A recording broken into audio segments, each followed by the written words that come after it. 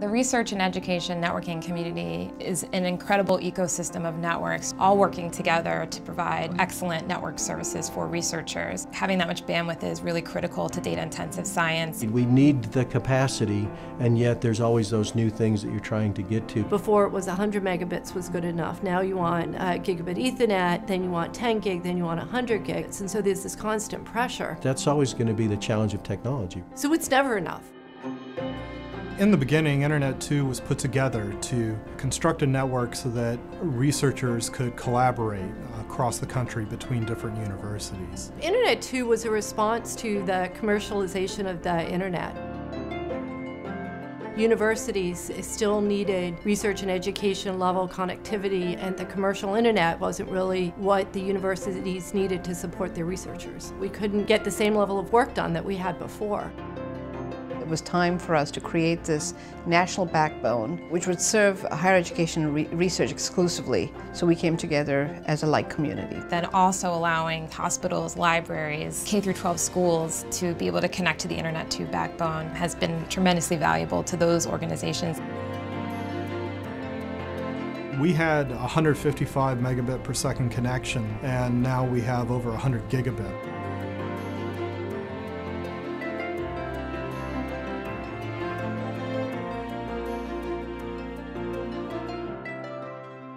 So then if you fast forward to about 2009, we had the BTOP program. It's added all kinds of capacity, and it adds community anchors too. BTOP allowed us to expand the footprint of the network and where it went and who it connected.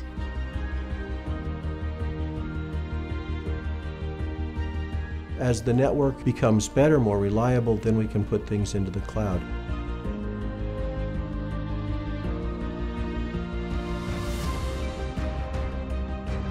What has also come to the forefront is trust and identity.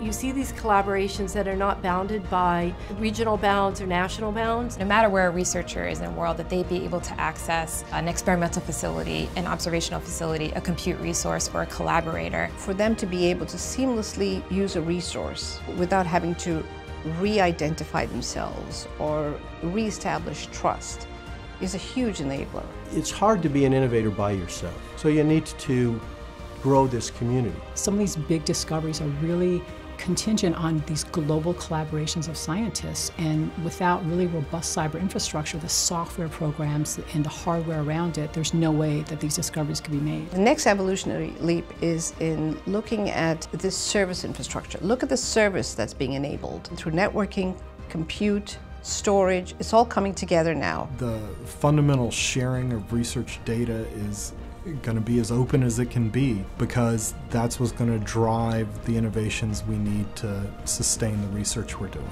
Clearly the paradigm is shifting. This model is evolving.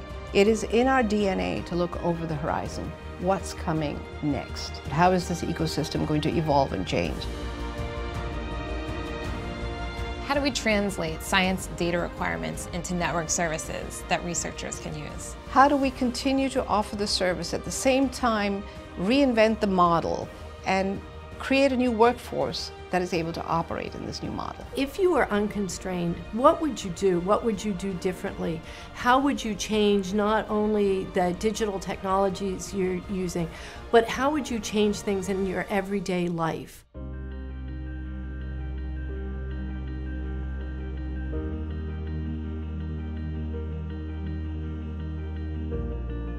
Are we investing everything that we need to? Those are tough questions that we're going to have to answer.